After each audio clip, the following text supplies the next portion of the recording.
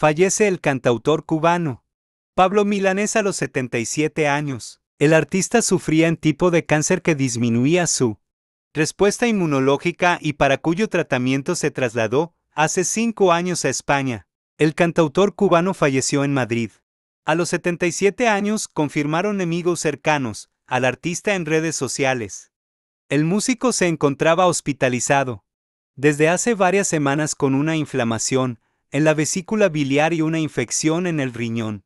Pablo Milanés nació en Bayamo, en la antigua provincia de Oriente, el 24 de febrero de 1943. Se inició tempranamente en el mundo music, como cantante en la radio rock a los seis años. Milanés era considerado uno de los artistas latinoamericanos más importantes y llevó a cabo numerosos proyectos dentro y fuera de la isla. Su muerte ocurrió después de varios promocionales de su disco Días de Luz. Es hermoso que coincidamos en mostrar nuestro reclamo de libertades absolutas a través de las flores. Descanse en pez.